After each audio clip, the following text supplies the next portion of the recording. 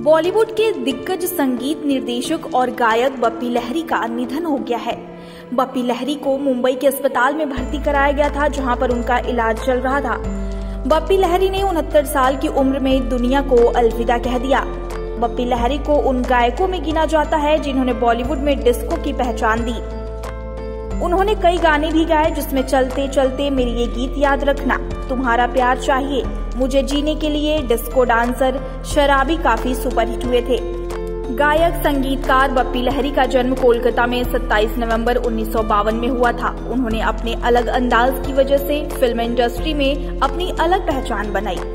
बप्पी दा हमेशा सोने के आभूषणों से लदे रहते थे। लहरी ने अपने सफ़र के दौरान कई हिट सॉन्ग किए।